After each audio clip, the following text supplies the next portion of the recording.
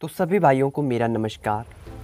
तो भाइयों, आज की इस वीडियो में मैं आपके लिए एक अलग और इंटरेस्टिंग सा टॉपिक लेकर आया हूँ। आज की इस वीडियो में हम बात करेंगे गाय के दांतों का फॉर्मूला जी हाँ गाइस आपने सही सुना। आज की इस वीडियो में हम बात करेंगे कैटल डेंटल फार्मूला के बारे में, कि गाय का दांतों का फार्मूला होता है।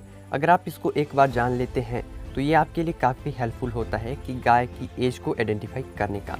दोस्तों, जो गाय के डेंटल फार्मूला है, उसमें आपका गोट और शीप भी आ जाता किसान भाइयों, किसी भी एनिमल का डेंटल फार्मूला ज्ञात करने के लिए हमें फार्मूला जो है, वो कुछ इस प्रकार सा है। दोस्तों, पहले हम इंसाइज़र देखते हैं कि एनिमल में कितने इंसाइज़र हैं, कितने कैनाइन हैं, कितने प्रीमोलर हैं और कितने मोलर हैं। ये दांतों के चार प्रकार होते हैं, जिनसे हम एनिमल का जो है डेंटल फार्मूला ज्ञात करते हैं। तो उसी प्रकार हम कैटल में ज्ञात करेंगे कि गाय में कितने इंसाइज़र होते हैं, कितने प्रीमोलर होते हैं और कितने मोलर होते हैं। हालाँकि गाय में कैनाइन दांत जो है, नहीं होते हैं। ठीक है फ्रेंड्स तो हमें ज्ञात करना है तो सबसे पहले हम इस फॉर्मूले में लिखेंगे इंसाइज़र उसके बाद कैनाइन नहीं होते हैं तो कैनाइन हम ज़ीरो लिखेंगे। उसके बाद प्रीमोलर कितने हैं और मोलर कितने हैं, वो मैं आपको आगे इस वीडियो में पूरा समझाऊँगा। दोस्तों, इस फॉर्मूले को जब आप पूरा लिख दोगे तो इसको आपको प्लस करके मल्टीप्लाई करना है दो से। दो से मल्टीप्लाई करने के बाद जो भी दो संख्या आपके पास आएगी तो उन दोनों संख्याओं को आपको प्लस कर देना है और जो भी आएगा तो वो गाय के दांत आएँगे। ठीक है फ्रेंड्स तो ये थोड़ा सा प्रोसेस होता है इसका। तो चल चलते हैं कंप्यूटर स्क्रीन के ऊपर। वहाँ पर मैं आपको उसको प्रैक्टिकली करके दिखाऊँगा। ठीक? तो दोस्तों स्टार्ट करते हैं वीडियो को।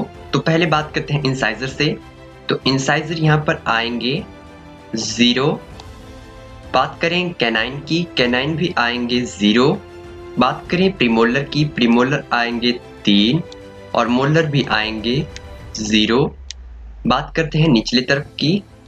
तो गाइस निचली तरफ़ में इंसाइजर की बात करें तो इंसाइजर आएँगे चार कैनाइन ज़ीरो, प्रीमोलर तीन और मोलर ज़ीरो।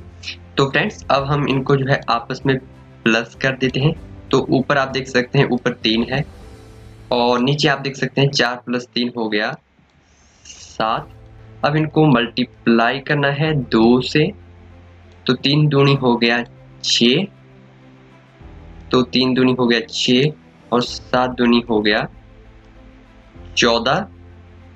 तो अब इनको दोस्तों छ और चौदह को हमें आपस में बिल्कुल प्लस कर लेना है।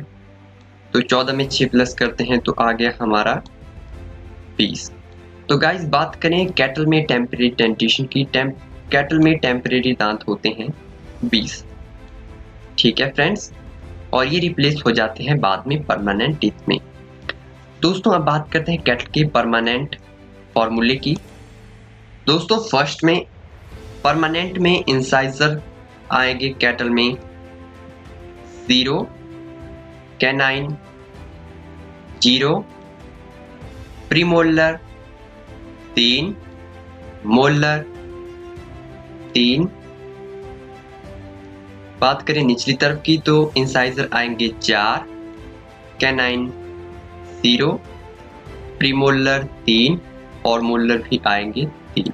तो दोस्तों, अब इनको हमने आपस में बिल्कुल प्लस कर लेना है। तो तीन प्लस तीन हो गया छ और यहाँ पर आप देख सकते हैं तीन प्लस तीन हो गया छ और इनमें हम चार को भी प्लस कर देंगे तो आ गया हमारा दस।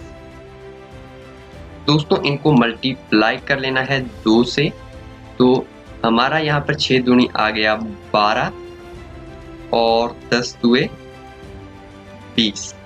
ठीक है दोस्तों, अब हमने बारह में प्लस कर लेना है बीस को तो हमारा कुल मिलाकर यहाँ पर आ जाता है थर्टी टू यानी कि बत्तीस। तो दोस्तों कैटल के परमानेंट दांत आएँगे बत्तीस।